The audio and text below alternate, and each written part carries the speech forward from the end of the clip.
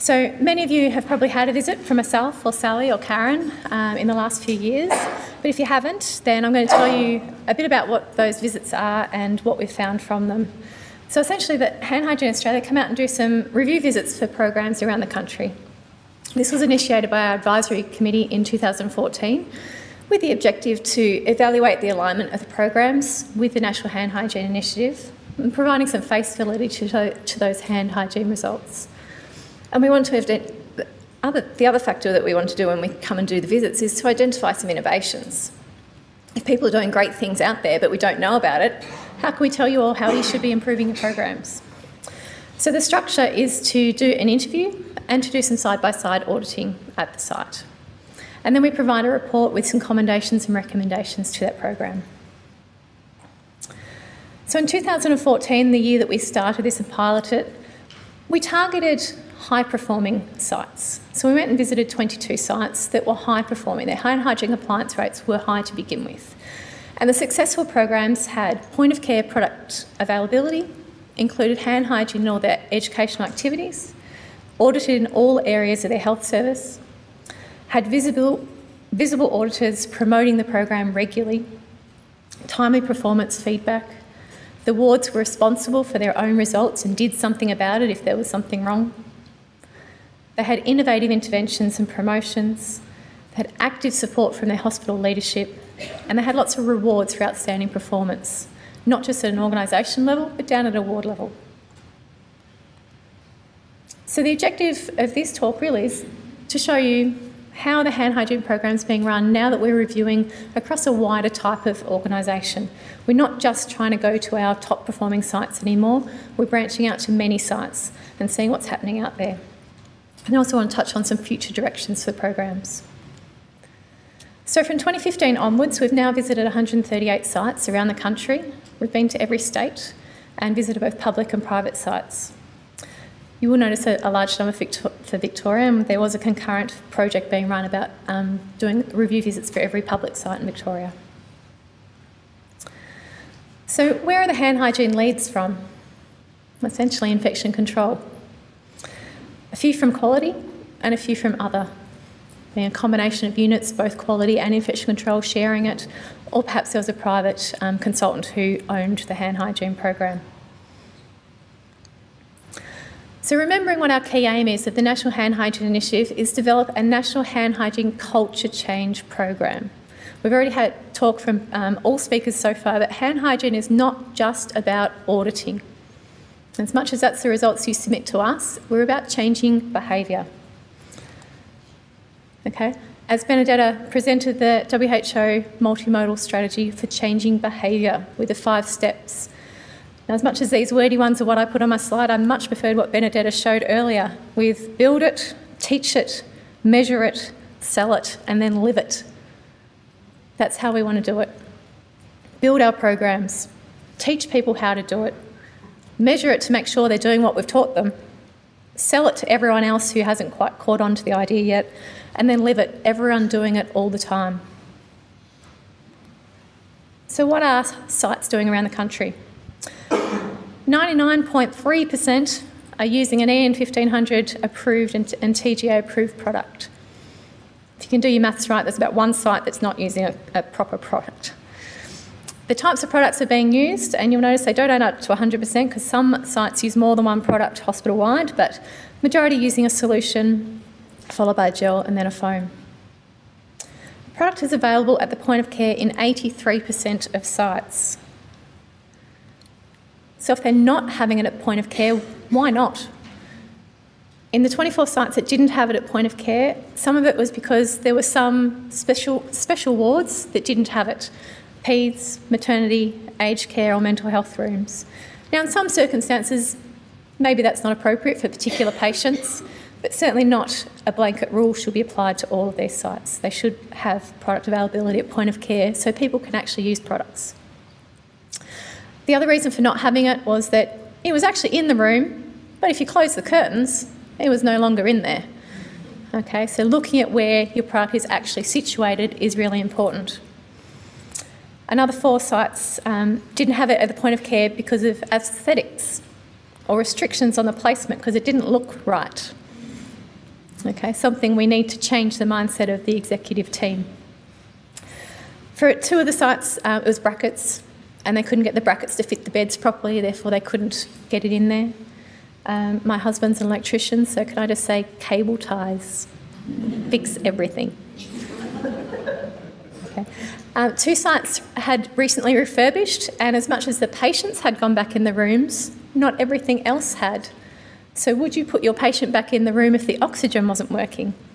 No, because it's a safety issue. But would you put them back in the room if they didn't have product available to clean your hands? Apparently, you will. Okay, and then two sites had other reasons for not having it in there. So, education and training. Is hand hygiene education provided on the sites we visited? I'm happy to say that on 100% of sites, yes. Um, for 99% of those, it is a mandatory requirement as well. And for 82% of sites we visited, it's mandatory for all staff, no matter who you are. How is that education being provided? Majority of the time it's through e-learning, and of that, most sites are doing it on commencement of employment that you must do some e-learning, but also annually. So it's being built in like the bullying and like the fire training and all those other things you need to do every year. Hand hygiene is one of those mandatory requirements that you need to do every year. Other sites also do um, formal presentations, technique education, interactive workshops, and simulated clinical scenarios. As of June this year, just to show you what we're doing back at Hand Hygiene Australia, we've had 1.99 million completions of the hand hygiene online learning modules. Big party. I think we missed the 200, the 2 millionth person to give them an award, but they're out there. okay. Um, there's also been 53,000 completions of the infection control orientation module that was only put on our website in June last year. So um, quite a number of people learning about infection control in general as well. We've had 3,800 gold standard auditors trained and 8,400 auditors trained around the country. So looking at monitoring and performance feedback. Okay, looking at how well people are doing what we're asking them to. I'm going to break it into auditors, audit processes, and feedback. So our revisit data indicates that on, on average, at each site we've visited, there are around six gold standard auditors. Or if you look at who's actually active and collecting data, it's probably closer to four. There's an average of 24 auditors per site, with the active rate being only about 13.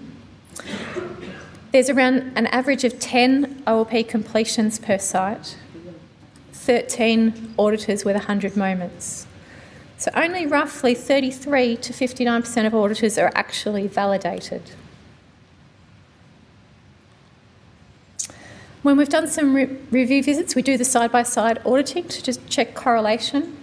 I'm happy to say that 92% of those we did the side-by-side -side session with had a close correlation with the reviewer and or only minor discrepancies.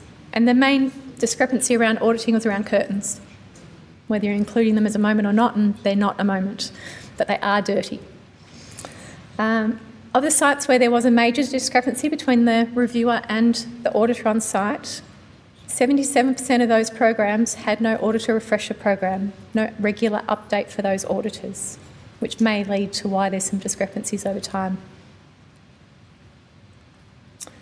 Of the auditors on site, 50% of sites we visited do train general auditors, mostly using a one day program, some with a multi day program, and others in various other ways. The auditors are mostly nurses. There's very few educators, and there's very few from other professions. Some interview comments around auditors have been there's lots of auditors trained, but not many actually auditing auditors that are not released from their other duties. The refresher sessions may have been offered, but no one actually wants to come. Or the auditors feel lost. In audit processes, 67% of the auditors audit their own wards where the sites were visited, and 60% of auditors do not have dedicated auditing time. 40% of the sites we visited do all wards every audit, and 34% do not include all their acute areas. 51% conduct local audits, and some of the reasons for conducting local audits instead of sending the data into the national report is that 38% want to include wards that were not in the national audit, um, 31% wanted to include non acute wards, or 20% to focus on performance improvement. Now, to, to put some context to this slide, Hand Hygiene Australia made the local audit process primarily for those wanting to focus on, on performance improvement. You find a ward that's got low compliance, you go in and do some um, extra auditing to address that problem. And you might not want to put that as part of the national audit, and that's why we created it. Not necessarily to segregate where your data sits so that your rate looks good. So some areas were not audited in the sites we reviewed. 57% of sites do not audit radiology. 26% of sites do not audit their peri-op areas, so example recovery. 17% of sites do not audit their emergency department, and 12% of sites do not audit their oncology department. So we've touched on it, and we'll, each speaker here will touch on it further, but we have updated our audit process and, and our selection of departments for auditing. So if you go to the National Data tab under the guidelines for data submission for hospitals, you will find it. And it does now say that we want to audit all el eligible departments, which do include emergency okay, and do include radiology as an optional department to audit in. So, performance feedback. Are we telling everyone what's happening out there? Yes, 80, 88% of people are providing immediate feedback, and Narelle is going to talk to us later in the program about providing that immediate feedback during auditing. 35% do provide feedback at the end of the session, and 41% publish interim reports. 20% do not perform any data validation checks of their data, though, before they submit it to us. And 72% do not run an auditor in sessions report, which I'll talk to you about later in the day. 91% do have a higher local target than the national benchmark, but this was including um, visits prior to the increase of that 81 of that 80%. However, most sites do report their results to their executive team, their infection control committees, and their quality committees. So that's great. As for reminders in the workplace and selling your message, um, some site specific um, posters are generally the way that people are trying to sell the message. So, having medical staff on posters promoting the use of the hand hygiene products um, set, tends to work in those departments to improve compliance. Having specific ward staff photos for that particular ward on posters is helpful or a lead the way type approach where you've got specific professional groups on posters around those departments to try and spread the, spread the message. Other things that people are doing um, for reminders or, or awards in their sites are trophies for top performing wards, uh, having photos in newsletters or any um, media briefs that the hospital does.